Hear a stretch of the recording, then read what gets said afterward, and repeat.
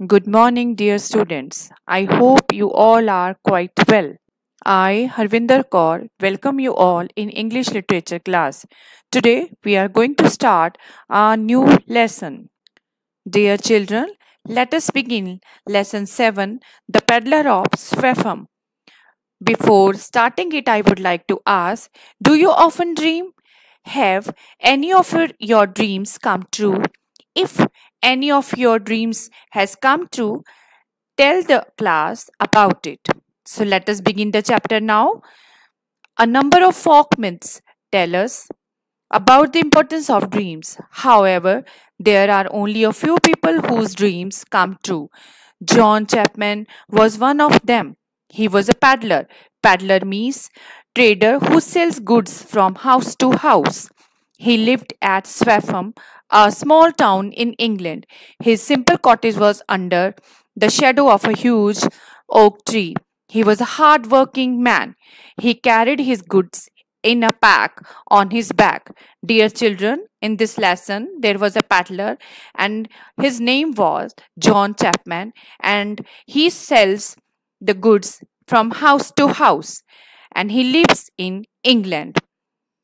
His simple cottage was under the huge oak tree, and he was very much hard working. Dear children, let us continue the chapter. His faithful dog was always by his side. He did not earn enough for his wife and children, but he was a contented man. Contented means happy with what he had. After working hard all day, he lay on his bed and had a sound sleep. Dear children, he was having a dog and he, it was very much faithful. And he did not earn enough for his wife and children. But he was very much happy whatever he was having. He was very much hardworking. He worked hard all the day and lay on bed and sleep peacefully. One night in his dream, he saw the great bridge of London town.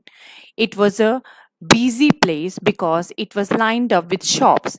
He also saw ships sailing in the river. A voice told him that his visit to the bridge would bring him fortune. Fortune means a lot of money. He kept on thinking about his dream throughout the day. He had the same dream three times for the following three nights, so he could not ignore it. Ignore means pay no attention. Next morning, he set off to London along with his dog. He walked for days and got very tired. Finally, he reached the river and stood on the bridge of London. He was delighted. Delighted means very happy to see the ships sailing. The whole day he paced up. Paced up means walked up and down the same place many times. eh, The bridge, but found nothing that could make him rich. Children, one night when he was sleeping, he had a dream and he saw the great bridge of London town. It was a very busy place and there were so many shops. Okay, he saw ships sailing in the river and a voice told him that he need to visit bridge. That would bring him a lot of money. He kept on thinking about the dream throughout the day. And he had the same dream for three times of the following three nights. So he could not ignore it okay? He don't want to ignore next morning he set off to london with his dog. He walked for 3 days and he got very tired. Then he reached the bridge of london. He was very happy to see the ships sailing at there. He did the same the next day and the day following it. Every day, a curious shopkeeper saw him walking aimlessly. Aimlessly means without any aim or purpose. On the third day, he came and asked him, Brother, do you want to sell something? The peddler said, No. The shopkeeper asked him again. Then, dear children, a curious shopkeeper always saw him that he is wandering here and there. And one day he asked him that, Do you want to sell something? He said, No. Dear children, let it be continue. Then do you want alms? Alms mean a person who needs money or food. The peddler shook his head and said, I have nothing to sell and I am not a tramp. Tramp means a person without home or money who asks people to give him money. I have come from Swaffham. I had a strange dream. In my dream, I saw the Bridge of London. It was lined up with shops, and there were ships sailing by. I was told that I will get a fortune at there. Dear children, now the peddler shook his head I and said, I have nothing to sell and I'm not a tramp. Tramp, I have already told you that a person without home or money who asked people to give him money. Okay, I have come from Swaffham and I had a strange dream. In my dream, I have seen the Bridge of London and there were many shops and the ships were sailing by. I was told in my dream that I will get a fortune at there. The shopkeeper laughed heartily. Heartily means loudly with joy. It's silly to take a journey just for a dream, he said. Do you not know such dreams are common?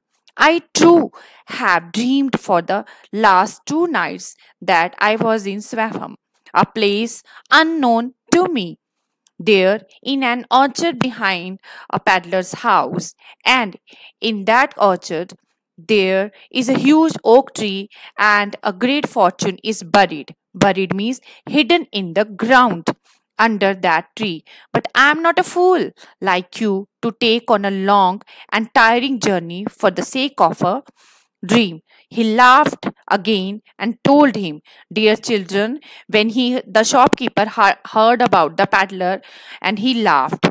It's just a silly thing that you have come here just for the dream only okay? He told him that i was also having a dream that i was in Swaffham, a place unknown to me and uh, i a orchard behind the peddler's house i have seen and in that orchard there is a big oak tree and in under that tree is great fortune.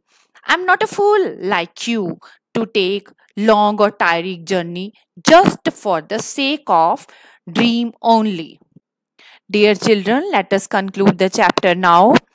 My good fellow, learn from a wiser fellow like me. Go home and do your business. As soon as the peddler heard this, he left the place without saying a word. He rushed back home and dug the ground beneath the huge oak tree and found a pot of gold coins. When he emptied the coins out, he saw something written on the bottom of the pot. It read, Under me doth lie another much richer than I. So the peddler dug once more and he found a bigger treasure. In this way, he became a rich man.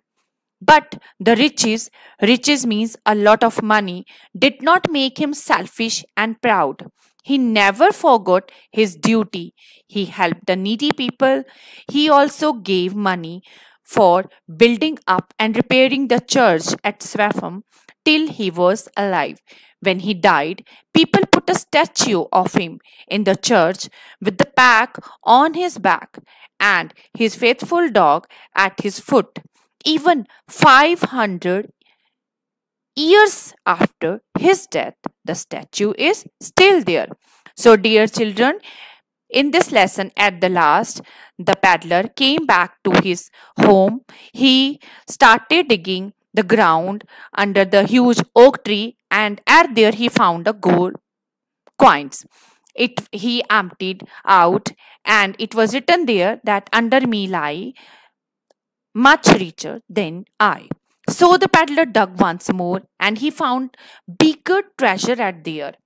In this way, he became very rich and he was having a lot of money. But he did not made himself selfish and proud. He never forgot his duties. He helped the needy people. He gave the money to repair the church at Swaffham till he was alive. Dear children, when he died, people put a statue of him in the church with the pack on his back and his faithful dog at his foot. Even 500 years ago, after his death, the statue is still at there. So it is the story is telling us that we should be contented whatever we, we are having. We should be happy whatever we are having. We should not rush behind the money. Okay, so I hope you like the lesson. Read it carefully, underline the difficult words.